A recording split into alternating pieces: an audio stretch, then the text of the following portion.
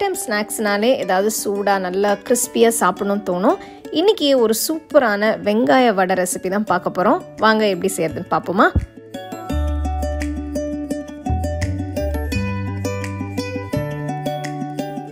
எல்லாருக்கும் வணக்கம். நான் Hema Subramanian welcome to home cooking Tamil சாயங்காலம் டீ டைம்னாலே நம்மளுக்கு சூடாக ஏதாவது பஜ்ஜி போண்டா அது மாதிரி இருந்தால் நல்லாயிருக்கும் தோணும் இல்லையா? ஸோ அந்த மாதிரி ஒரு ஸ்நாக் ரெசிபி தான் இன்றைக்கி உங்களோட ஷேர் பண்ண போகிறேன் இது வெங்காய வடை. ஆக்சுவலி சூப்பரான ரெசிபிங்க எனக்கு ரொம்ப பிடிச்ச ஒரு ரெசிபி ஸோ இப்போ ஆக்சுவலி ஈவினிங் டைமில் நம்ம வந்து நல்லா இந்த சூடாக அந்த வடையை செஞ்சு ஒரு நல்ல டீ வச்சு குடித்தோன்னா ஆஹா சொல்லவே வேண்டாம். ஸோ வாங்க ரெசிபிக்குள்ளே போகலாம். இந்த கிறிஸ்பியான வெங்காய வடை செய்ய ஒரு பெரிய போலில் இதுக்கு தேவையான பொருட்களை மிக்ஸ் பண்ணிக்கலாம். நீல வாக்கில் நறுக்கின மூணு வெங்காயம். பொடுசாக நறுக்கின ரெண்டு பச்சை மிளகாய் உங்களுக்கு ரொம்ப காரம் வேண்டாமனா நீங்கள் ஒரே ஒரு பச்சை மிளகாய் மட்டும் சேர்த்துக்கோங்க. பொடுசா நறுக்கின ஒரு துண்டு இஞ்சி. நறுக்கின கொஞ்சம் கொத்தமல்லி. நறுக்கின கருவேப்பிலை. ஒரு டீஸ்பூன் உப்பு. கால் டீஸ்பூன் மஞ்சள் தூள். ஒரு டீஸ்பூன் மிளகாய் தூள். கால் டீஸ்பூன் பெருங்காயத்தூள் எல்லாத்தையும் சேர்த்து நல்லா மிக்ஸ் பண்ணுங்க.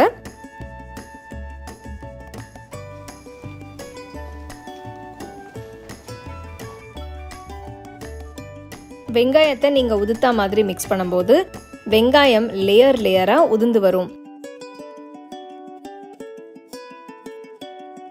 இப்போ இது கூட மூணு டேபிள் ஸ்பூன் கடலை மாவு ரெண்டு டேபிள் ஸ்பூன் மைதா ரெண்டு டேபிள் ஸ்பூன் அரிசி மாவு சேர்த்து நல்லா கலந்துக்கோங்க. அரிசி மாவு இல்லைன்னா நீங்கள் கடலை மாவு மைதா மாவு வச்சு கூட இந்த வெங்காயம் வடையை செய்யலாம். நான் தண்ணி எதுவும் சேர்க்கவே இல்லை. நம்ம உப்பு சேர்த்து மிக்ஸ் பண்ணுறதுனால வெங்காயம் அதுவே தண்ணி விடும். வெங்காயத்தில் இருக்கிற தண்ணியே போதும்.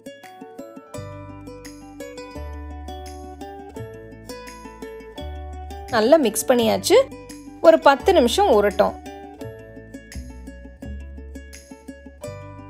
ஒரு கடாயில் பொரிக்கிறதுக்கு தேவையான அளவு எண்ணெயை ஊற்றுங்க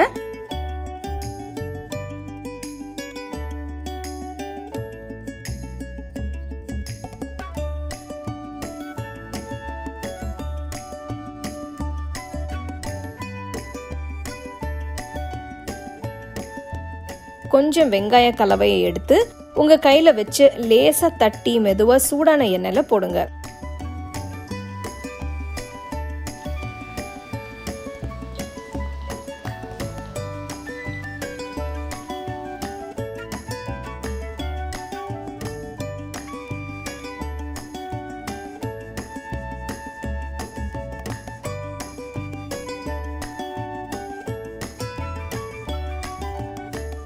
ரெண்டு பக்கமும் நல்ல பொன்னிறமாக வர வரைக்கும் ஃப்ரை பண்ணி எண்ணெயை வடித்து எடுத்துருங்க. கிறிஸ்பியான வெங்காய வடையை சூடாக டீ டைமில் சாப்பிட்டு என்ஜாய் பண்ணுங்க.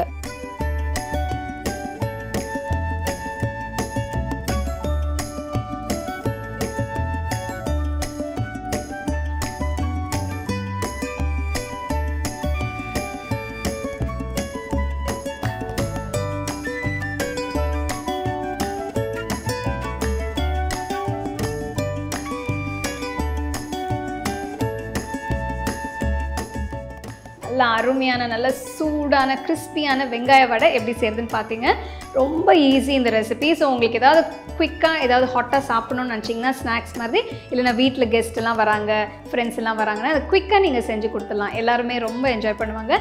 கண்டிப்பாக ட்ரை பண்ணி ரசித்து ரசித்து சாப்பிடுங்க.